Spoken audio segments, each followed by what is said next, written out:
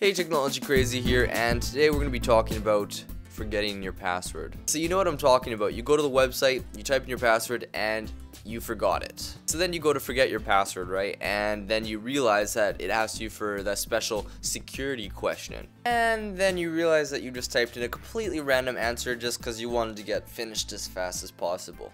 So today I'm going to teach you how to recover all your passwords for free on Windows and Mac. So please stay tuned and enjoy.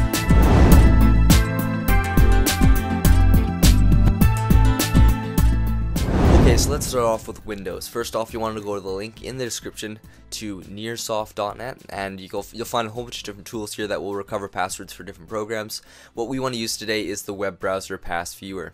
It works on all versions as well as a whole bunch of different browsers and it will basically show you all your saved passwords for all the websites that you have gone to. So uh, here it is on the desktop, web browser pass viewer. Let's open it up run it and here it shows all my uh, passwords that I have saved. I deleted all the rest, I only left one just for the sake of this tutorial.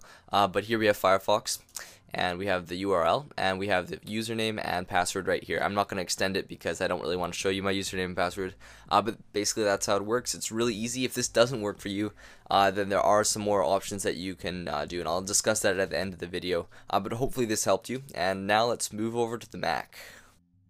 Okay, so just like Windows, it's also very easy on the Mac. First off, we have to go to Applications, scroll down, and find Utilities. Then we're going to look for Keychain Access.app. This will show you all the passwords saved in your keychain. Uh, so here we can say we can uh, whatever we want. We want to let let's say we want to find a YouTube password. We just type in YouTube and find the item we want. Right click, get info.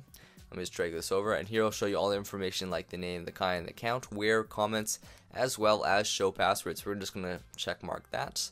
And here we are asked for the uh, master keychain basically. So this is uh, your password that you use to log on to your account often.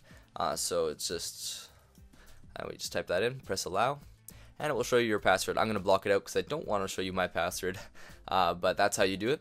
So I hope this worked for you. If it didn't work for you, I often find that uh, websites will actually allow you to uh, recover your password if you just contact their support. So find their support, uh, contact them, say that you forgot your password, and they can sometimes verify if it's you uh, through other ways besides a security question or recovery email address. So uh, contact support if you completely forgot your password. Otherwise, and if that doesn't work, you're pretty much screwed.